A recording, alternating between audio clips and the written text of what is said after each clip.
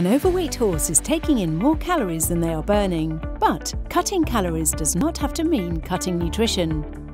Summer can be a Weight Watcher's nightmare because the biggest contributor to a horse's diet is grass, and grass may have the same calories as a competition feed, which can ultimately fuel weight gain.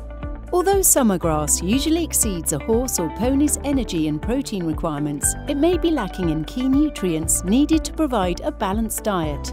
A balanced diet consists of water, carbohydrates, proteins, vitamins and minerals, and fats and oils. An unbalanced diet lacking in vitamins and minerals can have a long-term impact on your horse or pony, such as poor hoof growth and condition, a compromised immune system, and a general lack of well-being. So what is the solution and how do you cut the calories without cutting the nutrition? The solution is to use a balancer.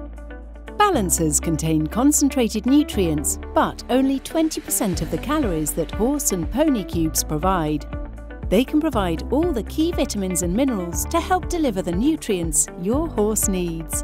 Visit spillers-feeds.com to explore our range of balancers